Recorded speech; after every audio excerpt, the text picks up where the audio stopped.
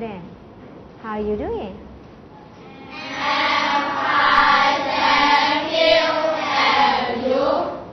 I'm fine thank you sit down please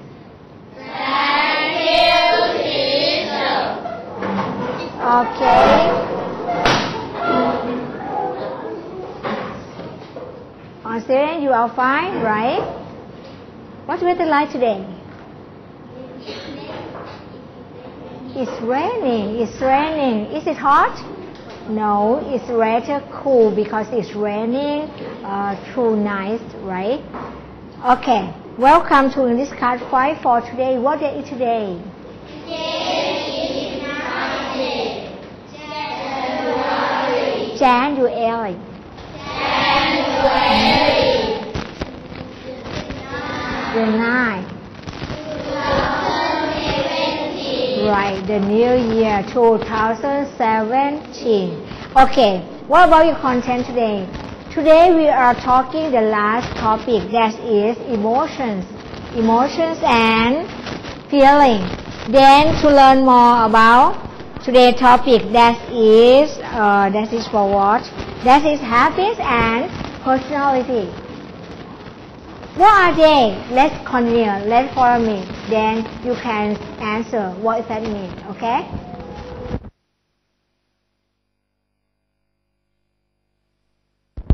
Let's go to a slide together. Let's see slide and talk about today's topic right now. Okay. On this unit 15, people expressions. People expressions the first topic on this topic that is emotions and feeling. People expressions, what does that mean? Solowik, people expression, what does that mean? Solowik, people expression, what does that mean? Stand up please.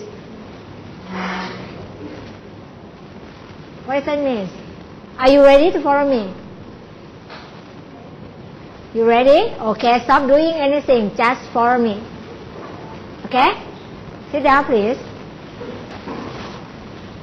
Okay. I said to you, Unit 15, people expression. You know what that means? You don't know? Or you know? Expressions. people expressions หมายถึงการแสดงออกของผู้คนนะคะ หัวข้อนี้หัวข้อใหญ่ที่คุมเลยคือครูกำลังพูดถึงสิ่งเราอยู่สิ่งต่างๆ รอบตัวคุณฉะนั้น ยูนิตแรกที่อยู่ในธีมนี้ในในหัวข้อใหญ่นี้ก็คือ people expression คือการแสดงออกของผู้คน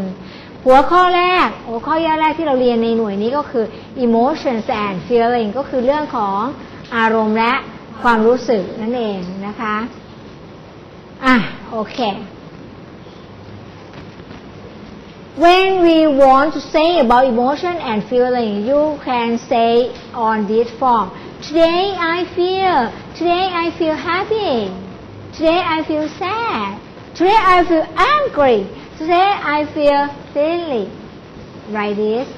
นะ Happy, what does that mean? Ah, when you say, today I feel happy. Ah, this is like an expression, strong expression to show to anyone about how feeling, how feeling you or you was. Okay. Next one, sad. You ah today I feel sad. Today I feel angry. Ah, today I feel silly. Uh, silly หมายถึงอะไร silly หมายว่ามันรู้สึกแบบไร้สาระนะรู้สึกแบบมันมันอะไรก็ไม่รู้อะมันไร้สาระนะคะรู้สึกว่าไม่โอเคเลยดังนั้นหัวตรงเนี้ย today I feel คือเป็นการบอกว่าวันเนี้ยฉันรู้สึกว่าไง อะลอง try let's try say about this feeling next one next next one อ่าแล้วเรียนดูหน้า ดูหน้าคนเหล่านี้ หน้าคนคนเดียวเลย แต่ว่าเขาสามารถเปลี่ยนอารมณ์ได้เพียงแค่ เปลี่ยนรูปปาก เปลี่ยนรูปคิ้ว เปลี่ยนรูปอันนี้คือ face feeling อารมณ์ที่แสดงออกทางหน้านักเรียนเนี่ยอย่างนักเรียน happy หน้านักเรียนก็เป็นแบบนี้เหมือนกัน ใช่ไหมพอทำปากงุ้มลงมาก็แซดเหมือนกันพอทำโกรธว่าเป็นไงเลย คิ้วขมวดขึ้นไปแล้วเห็นไหมคะ พอแบบรู้สึกว่าโอ้แย่ไร้สาระอะไรเงี้ยเออนะอธิพรทำเหมือนมากนะอะโอเค learn more about what feeling. Today I feel surprised. Today I feel surprised. Next one. Today I feel shocked. Shocked เป็นไง shock เออตกใจอย่างแรงเลย shocked shocked next one say I feel sleepy รู้สึกอะไร sleepy ง่วงนอน next one today I feel tired นะคะเมื่อเมื่อเมื่อคลาสที่แล้วครู แบงนิดหน่อยแล้วก็เขียนผิดแล้วก็สับสนตรงนี้นะคะ ฉะนั้นตัวนี้คือตัวที่ถูกต้องถ้า tired ตัวนี้ T I R E D นะ tired ตัวนี้แปลว่า เหนื่อยอ่อนนะคะเหนื่อยอ่อนถ้า T R I E D นั้นแปลว่าแบบทดลองหรืออะไรอย่างนี้นะคะ ฉะนั้นตัวนี้ tired นะ J I feel tired รู้สึกเหนื่อยฉันรู้สึกเหนื่อยเหนื่อยล้าอ่อนล้านะคะอะ surprised สึกประหลาดใจ shocked ตกใจ รู้สึกตกตะลึงหรือตกใจ shocked sleeping รู้สึกง่วงนอน tired รู้สึกเหนื่อยหรืออ่อนล้าอะให้จดบันทึกนิดหนึ่งวิธีการจดบันทึกจดยังไงคะให้ง่าย นักเรียนก็เขียน today I feel แล้วเอา surprised ไปเติมตรงนี้ แล้วข้างล่างนักเรียนก็เขียนต่อลงมาว่า shocked sleepy tired ก็ได้รู้ว่าคำเหล่านี้สามารถเลื่อนไปเติมคำในช่องว่างได้เหมือนกัน ถ้าเราเปลี่ยนความรู้สึก ยิงนะ today I feel shy หมายถึงอะไรคะ รู้สึกเขินอาย รู้สึกอายนะอย่างเช่นจะออกมาหน้าชั้นเรียนเนี่ย today I feel shy I don't dare to that นะคะก็คือไม่ไม่กล้าจะทำอย่างนั้นน่ะนะ today I feel confused I feel confused หมายถึงอะไรมันครูสอนมากมายเลยบอกว่า โอ้ I feel confused ก็คือแปลว่า รู้สึกสับสน รู้สึก มันปนเปกันหมดแล้วในหัวเนี่ยทำอะไรไม่ถูกแล้ว confused อะเดี๋ยวให้พี่เขาช่วยเอาแถบออกนิดนึงออกเสียงสิคะ confused surprised shocked confused tried shy sleepy โอเค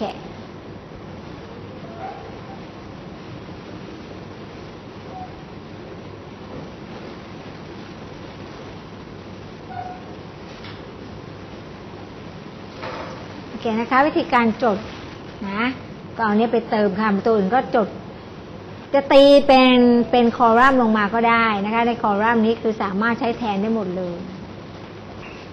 เขียนยาวจะต่อมาตรงช่องว่าง แล้วก็แปลความหมาย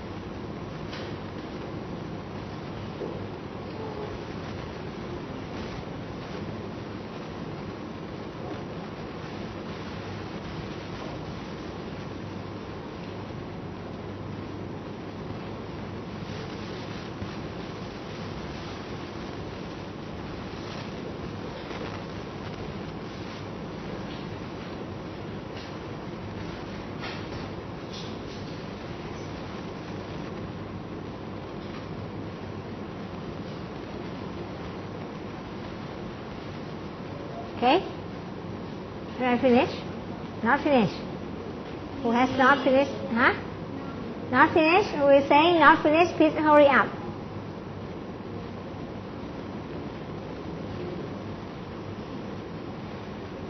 okay if you don't say today I feel you can change I feel to be I am today I am today am today I am surprised today I'm surprised you can say like that okay? Three four. Okay let's try let's try. Okay finish? Finish. Let's try about I am. Today I am. I am or today am or am. Example I am priest. Today I am priest. Am priest I am pissed. I am pissed. I am hot. I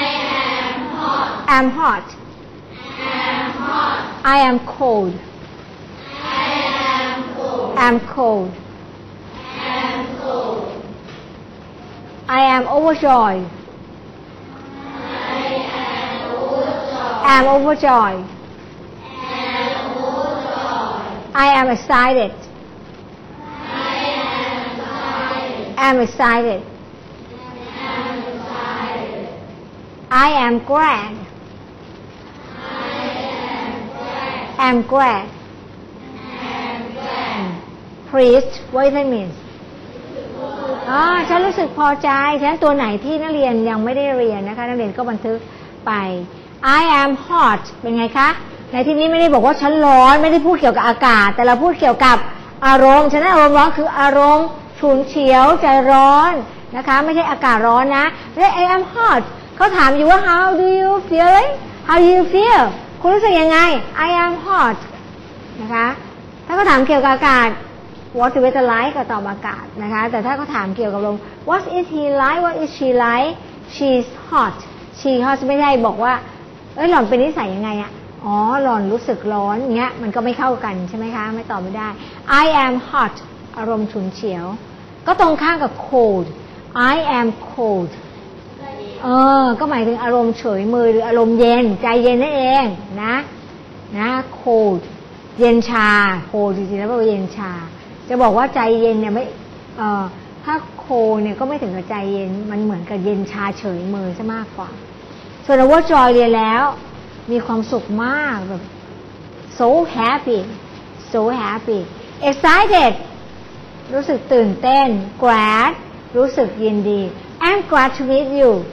I'm glad to see you I'm excited to see you ฉันรู้สึกตื่นเต้นที่ที่เห็นคุณอะ I'm glad to see you ฉันรู้สึกยินดี I'm pleased ฉันรู้สึกพอใจนะ I'm pleased I'm hot ฉันอารมณ์สูงฉุนเฉียวอะ I'm overjoyed I'm so happy the same way นะคะเหมือนกันนั้นตรงไหนที่เราเรียนแล้วตรงเนี้ยถ้าไม่ใช้ I am ก็ใช้ I feel แต่ถ้า I am ก็สามารถใช้ลูกย่อได้ว่า am นะคะเอาเลือกใช้ได้ เพราะคำเหล่านี้คือคำ adjective ต้องใช้กับ verb to be อยู่เสมอนะใช้ verb to be แล้วครูก็บอกว่า feel คำว่า feel ทำหน้าที่เหมือนกับ verb to be เหมือนกัน I feel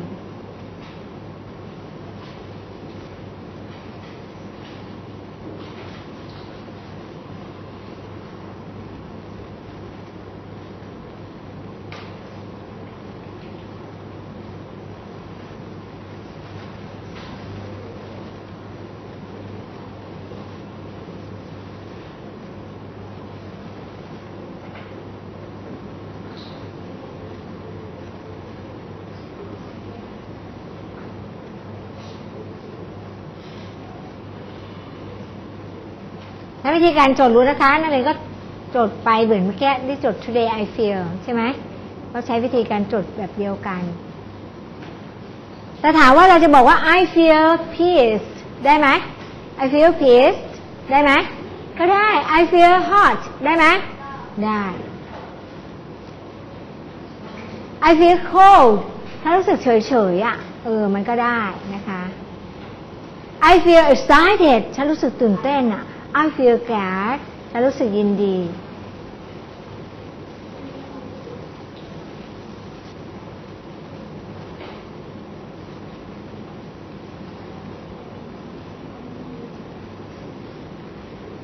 นั้นไปเลือกใช้นะคะ อะ โอเค finish let's move today I feel say again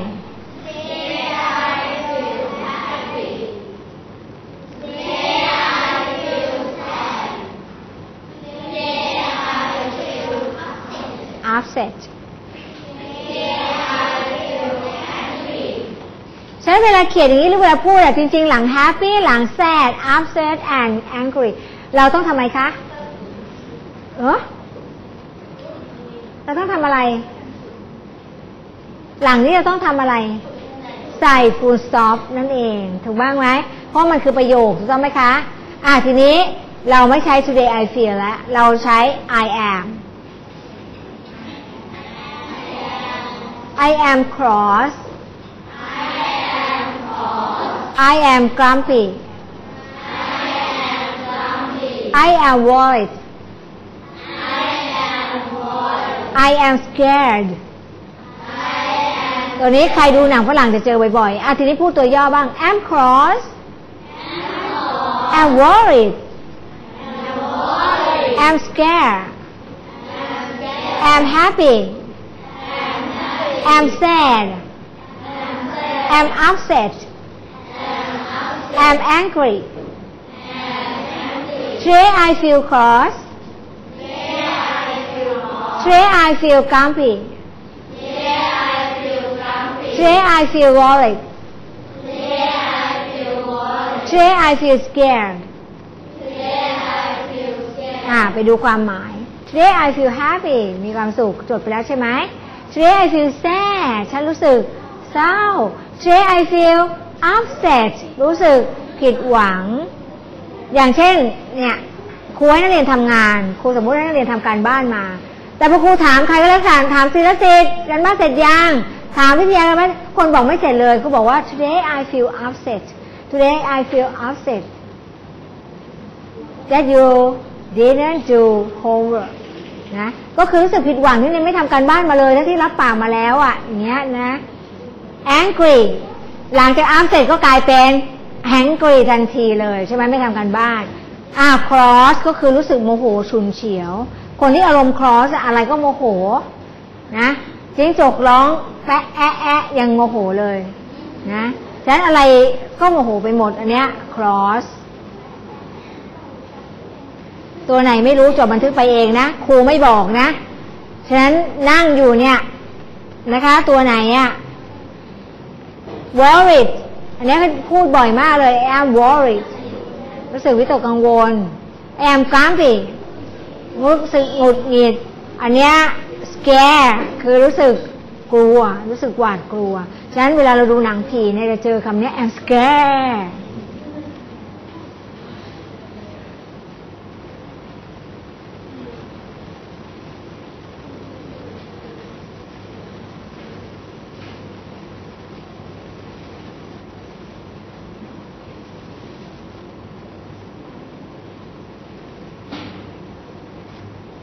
แล้วตรงนี้ จะจำได้ทำยังไงคะ ต้องไปหัดอ่าน ต้องไปอ่าน ต้องไปจำคำ adjective ให้ได้ เพราะโครงสร้างเนี่ยเราได้อยู่แล้ว โอเค say again the first one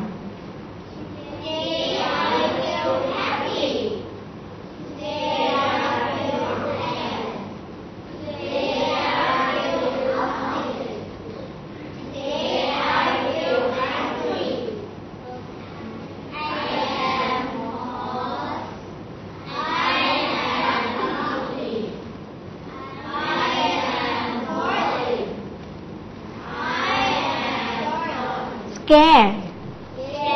scared upset แต่ส่วนใหญ่เวลาเขาพูดภาษาพูดจริงเขาชอบ am นะคะเขาจะพูดย่อนะเขาไม่นอกจากบางทีเขาเน้นอะถ้าเน้นอะว่าโอ้โหมันรู้สึกโมโหจริงๆนะ I am cross นะ don't disturb me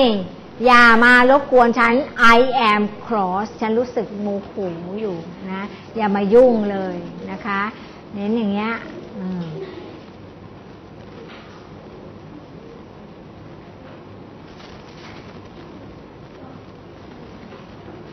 I don't like snake I am scared อย่างเงี้ย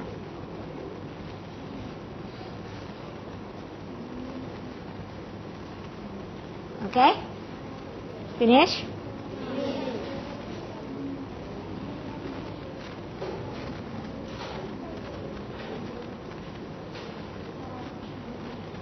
นการบอกความรู้สึกไม่ต้องใช้รูปประโยคอะไรบ้าง ก็แค่บอกเนี้ย today I feel I am นะคะ ไปใช้ให้ได้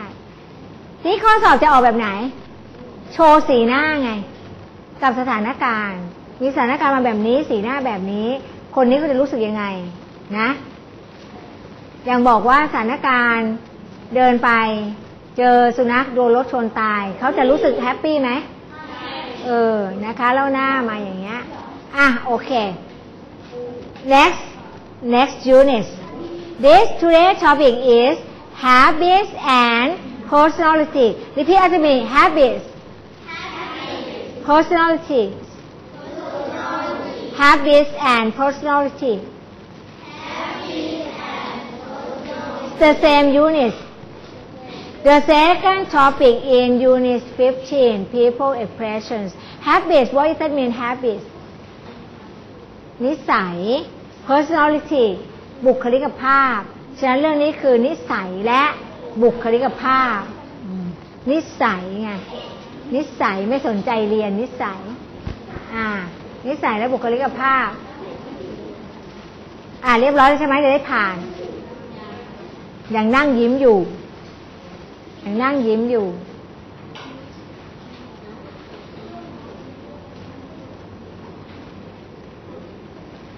อ่าเมื่อกี้แยกให้ออกนะคะ เมื่อกี้พูดถึงเรื่องอารมณ์ความรู้สึกนะ ตอนนี้มันคือนิสัยนะ กับบุคลิกภาพ นิสัยกับบุคลิกภาพเนี่ยมันเป็นสิ่งที่ติดตัวอยู่กับตัวบุคคลใช่หรือไม่ ใช่ไหมอธิพรอธิพรยังปรึกษาอยู่นะคะ ส่วนอารมณ์และความรู้สึกมันเกิดขึ้นเป็นตามช่วงเวลาใช่หรือเปล่า ตามระยะเวลาอาจจะเกิดแต่นิสัยกับบุคลิกภาพนี่มันเหมือนกับเป็นบุคลิก เป็นสิ่งที่เออส่วนตัวที่เห็นคนนั้นอะ ก็มักจะมีนิสัยเดิมๆ มีบุคลิกภาพเดิมๆ อย่างเงี้ย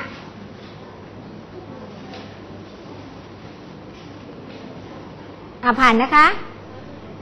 อ่านได้ยัง วันนี้ฝนตกเนี่ยทำงานช้ามาก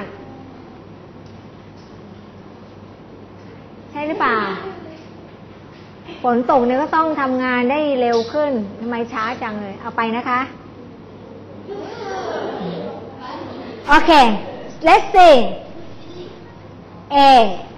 and C. This boy, the boy names A. The boy names D. When we see him, I can, they, or we can ask about him. Right? this. What is A like? What is A like?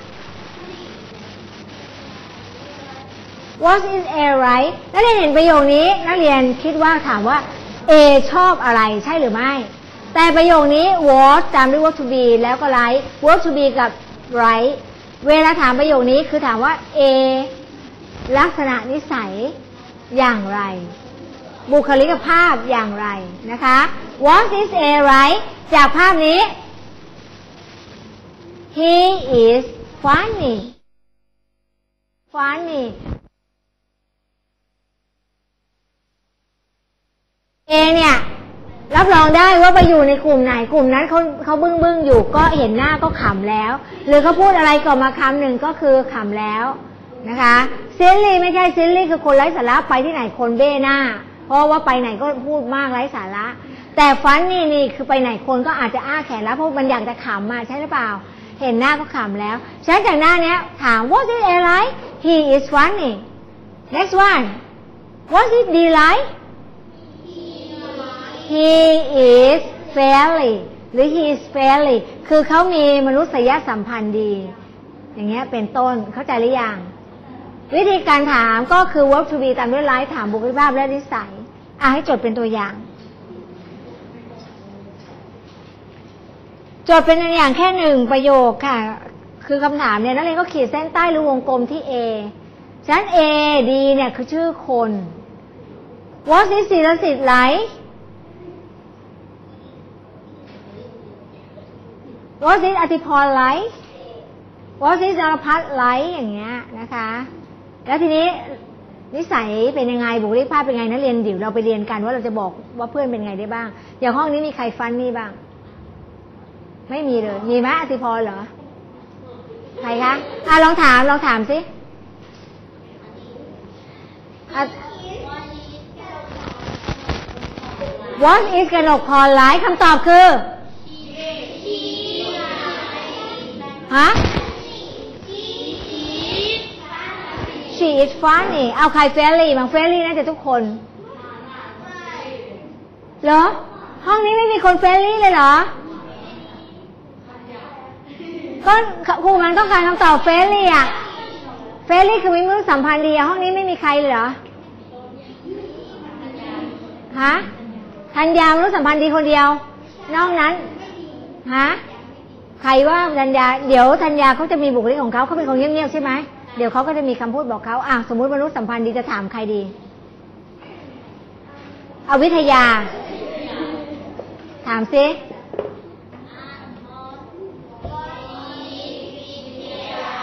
ถามไม่เหมือนภาษาเขาเรียกว่า เออ ภาษาปกติอะเอาใหม่ เร็วค่ะคำตอบคือ ฮะ again he is fairly นั่นเองอะสุกิตลุกขึ้นถามสิ เดี๋ยวให้สารวิทย์ตอบถามเกี่ยวกับฟันนี่กับเฟรลี่อะเรื่องหนึ่ง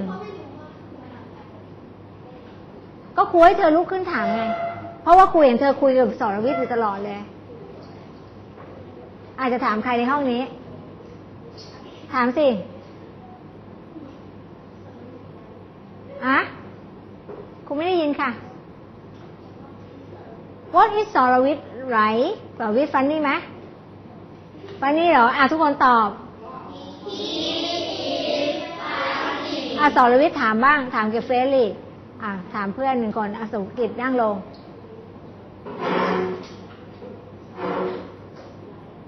What is สุกิจไลท์ทุกคนตอบอ่าติด he likes อยู่นั่นเองไม่ได้ดูฟอนไม่ได้ตามเลยนะคะ he is friendly นะคะ เข้าใจหรือยังอะทีนี้ไปดู B smart what does it mean smart ฉลาด เท่ ฉลาด คือ smart เนี่ยถ้าใช้บุคลิกภาพเนี่ยคือเท่ ถ้าใช้กับลักษณะก็คือ ฉลาดฉลาดแบบ คือมันมีบางบางคนฉลาดนะ แต่ว่ามองดูไม่เท่ถูกต้องไหมใช่เปล่าที่เขาเรียกเด็กเนิร์สใช่ไหมนะ moody she moody ขี้หงุดหงิดขี้โมโห shy unfriendly ฮะมนุษยสัมพันธ์ไม่ดีคือหน้าหงิกอยู่แบบนี้ไม่ยิ้มกับใคร พูดจาก็ไม่สุภาพเรียบร้อย พูดจาใครถามอะไรหน่อย ก็ไปต่ข้อเขาอะไรอย่างเงี้ยนะคะ unfairly นะอะ everyone asks about B then answer ask the questions about B answer C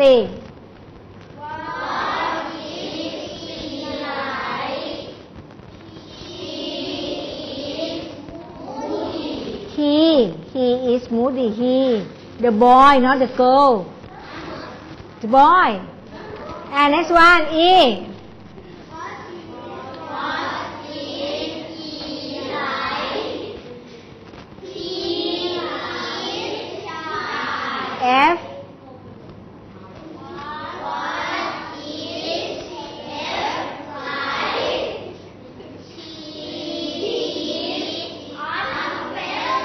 Okay, break group of two. This side group one, next side group two. Group one, you ask group two about C.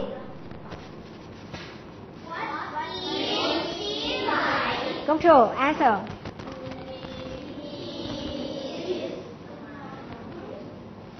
You listen the question. Group one, say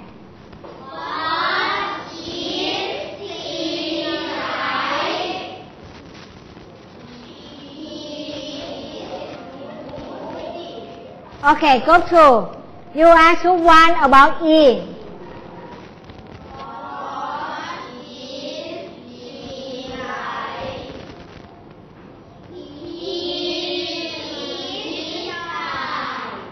Group one, you ask group two about F.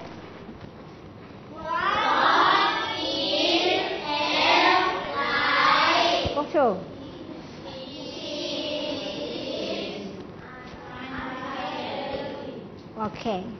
got it เข้าใจนะคะ อะ นะคะ ตามนี้ อะ learn more habits and personality number one funny what does it mean funny ตลกขบขัน copy this right now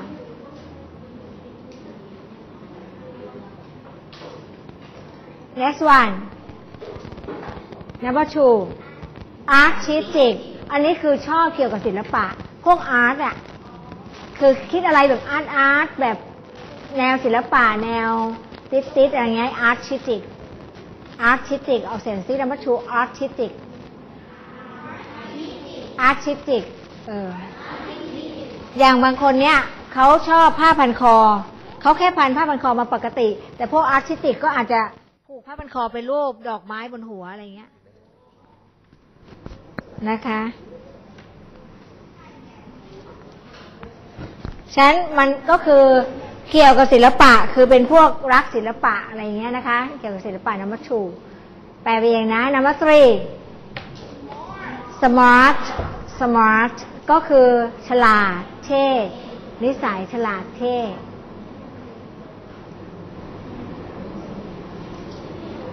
number four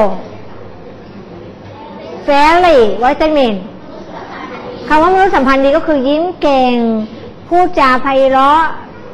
ช่างทักทาย ช่างเจรจา อะไรอย่างเงี้ย fairly number two oh sorry number five number five you change the number to be number five เปลี่ยนเป็น number five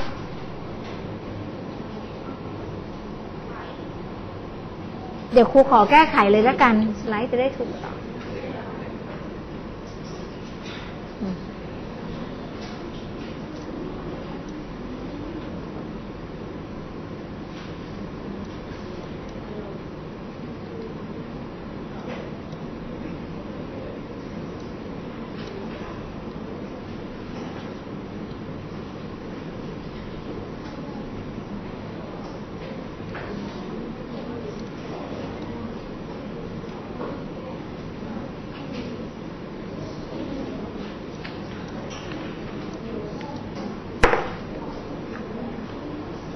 เคนะคะ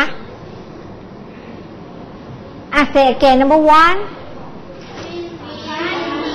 again number two number three number four five six seven eight oh sorry nine talkative ten generous generous generous number eleven quiet quiet why quiet fairly what does it mean fairly unfairly ไม่มีมนุษยสัมพันธ์ shy moody ขี้โมโหหงุดหงิดคายใจดี talkative talkative คุยเก่งช่างเจรจาช่างพูด talkative generous ใจกว้าง ใจดีแล้วใจกว้างด้วย generous เนี่ยนะคะ อย่างคายเนี่ยคือใจดีมีเมตตา แต่ generous นี่ใจกว้างแบบใจนักเลงเขาเรียกใจสปอร์ตใจกว้างไง generous eleven quiet คือเงียบขึมนี่แหละนะเจออย่างธัญญา is quiet นะ He's friendly but he's quiet นะ คือมีมนุษยสัมพันธ์แต่ว่าเงียบไง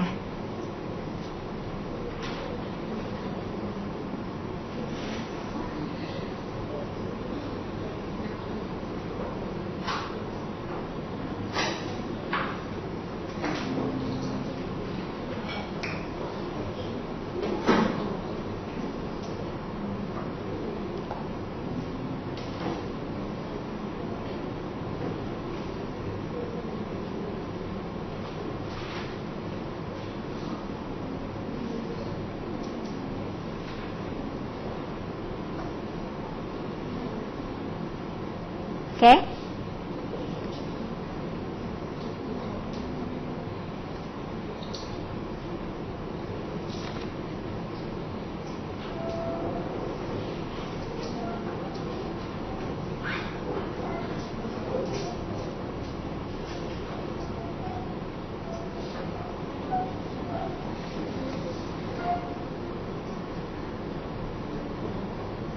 แล้วเรื่องการแปลเป็นเรื่องของแต่ละคนนะคะ ฉะนั้นตอนนี้เราสามารถบอกลักษณะนิสัยของตัวเองได้หรือยัง อธิพร what's the matter what happened any question นักเรียนสามารถบอกลักษณะนิสัยของเพื่อนและบุคลิกภาพของเพื่อนได้แล้วก็ของตัวเองได้ด้วย ถ้าของตัวเองอย่างเช่นตัวเองคิดว่าตัวเองเป็นคนตลก I am funny I am friendly ถ้าของเพื่อนก็ he is funny he is friendly she is artistic she is smart นะคะ สามารถบอกคลิกของเพื่อนในแต่ละคนในแต่ละห้องได้อธิพร is smart วรวรัน is funny อย่างเงี้ยเป็นต้นวิทยา is artistic นะนั้นก็แล้วแต่ว่าใครจะดูเป็นยังไงนะธัญญา is quiet ปาการ is talkative right no okay let's move ผ่านนะอ่า check a look this picture Take a look this picture carefully. Everyone follow me, please. Take a look. I have the questions. Was Billy right? You know this boy, his name is Billy. So I asked about him. Was Billy right? Can you answer? Yes, he is smart. Or you can with is in contractive form. He's smart. He's smart. Okay.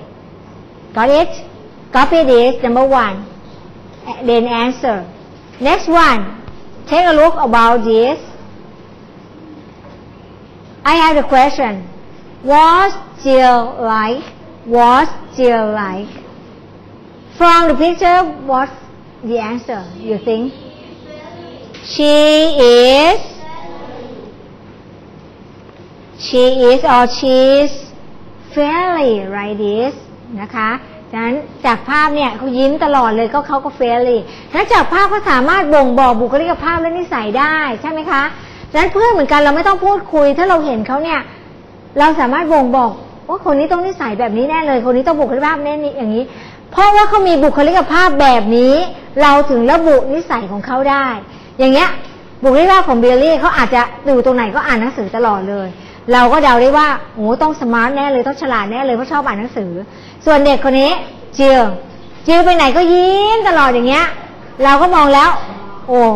แสดงว่านิสัยก็ต้อง friendly แน่เลยใช่ไหมคะเจียวฉันดูชื่อคนคุณไม่ได้เป็น A B C แล้ว ชื่อคนก็จะเปลี่ยนไป ดูตัวสีเขียว ควรจะวงกลมเบียรี่เป็นผู้ชาย เวลาตอบครูใช้ he เชียเป็นผู้หญิงเวลาตอบครูใช้ she แล้ว apostrophe s ในที่นี้คือตัวย่อของ is เพราะ smart เป็นคำ adjective ต้องวางไว้หลัง verb to be นะคะ ฉะนั้นคำบอกนิสัยลักษณะบุคลิกภาพทั้งหมดเป็น adjective อ่าผ่านนะ นี่คือแค่ข้อสองนะ เดี๋ยวให้ตอบเองผ่านนะคะ ผ่านได้ยังอ่า say the question on together please His name is Jack What is Jack like He's He's What Huh? About habit. Habit. Not feeling.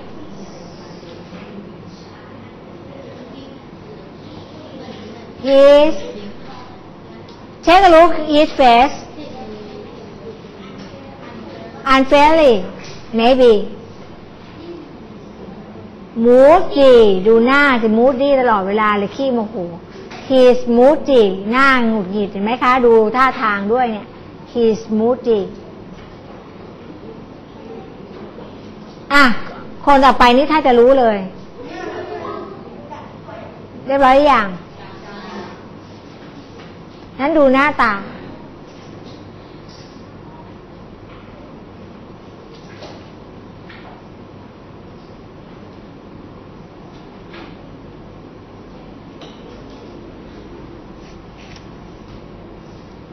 Okay, next one. Say the question. What is Bob right? Okay, answer.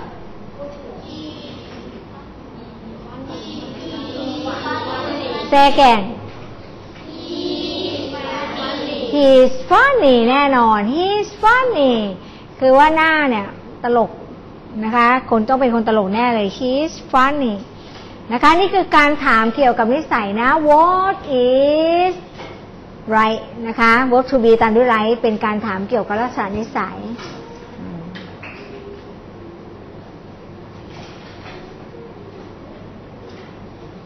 แต่ถ้าถามตรงนี้ไม่ใช่ work to be ที่เราเรียนมาแล้ว what does Bob write หรือ what do they write อันนั้นเป็นการถามเกี่ยวกับ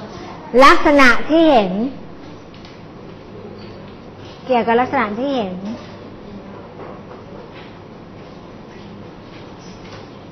จำได้ไหมที่ถามเกี่ยว what do they what d o he like เขาลักษณะเป็นยังไงที่บอกว่า he told he shows he has oval face อะไรพวกนั้นน่ะ เข้าใจยังนะคะอะทีนี้มีการคำถามอีกอย่างหนึ่ง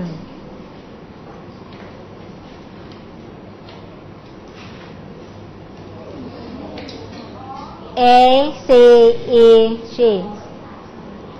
Take a look all peoples Say about number one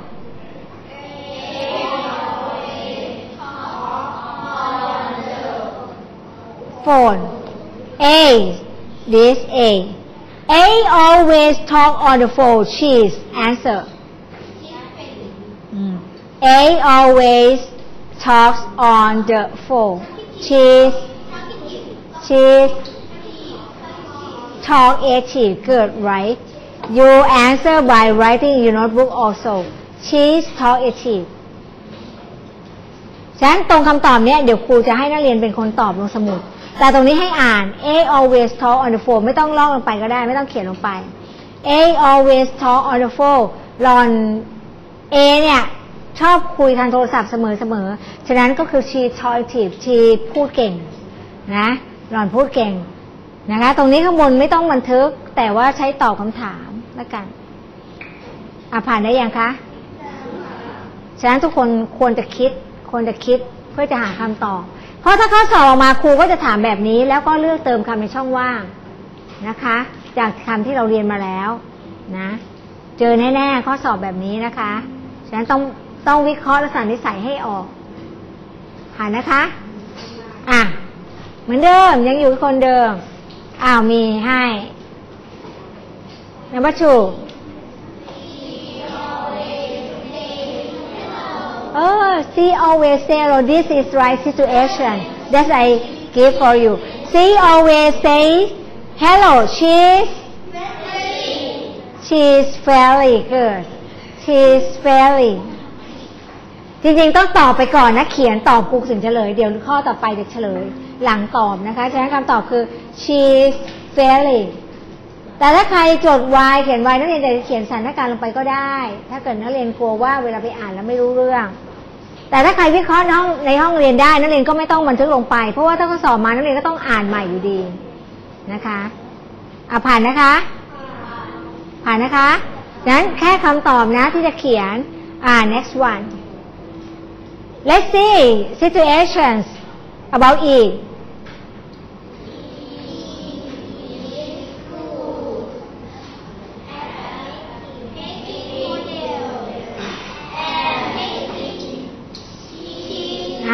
Answer. He is good at making models and painting cheese. I don't know. Let's answer. Let's answer by your idea. It's up to you. Cheese. He is good at making models and painting cheese. You think she aesthetic, right? Yes good that's right she artistic คือหล่อนชอบเกี่ยวกับศิลปะ มีบุคลิกภาพเกี่ยวกับศิลปะ คือเป็นแบบอาร์ตอาร์ตอะ she is artistic นะชอบปั้นชอบวาดรูป she artistic ผ่านนะคะผ่านนะคะ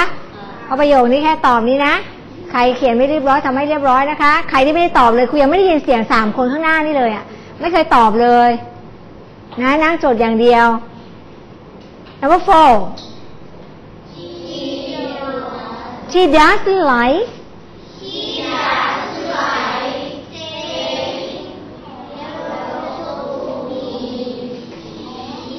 Ah, Oh, she doesn't like saying hello to me. She's answered by your idea. She doesn't like saying hello to me. She's Ah, someone, some say unfairly. Some say she's unfairly. What else? Who think different? มีใครคิดแตกต่างมั้งไหมมีไหม No? Okay, answer all together please. She's she's unfairly ก็ไม่ชอบพูดทักทายใครอะไม่พูดทักทายฉันอะหล่อนก็เป็นคน unfairly เนี่ยดูหน้าจีหน้าหงุดหงิดซะขนาดนี้ อันนี้มีภาพหน้าให้ดูด้วย ก็อย่างง่าย ใช่ไม่ใช่ ใช่ไม่ใช่ แต่ถ้าข้อสอบเป็นแบบต่อไปดูซิถ้าไม่มีหน้าอ้าวอ่านพร้อมกัน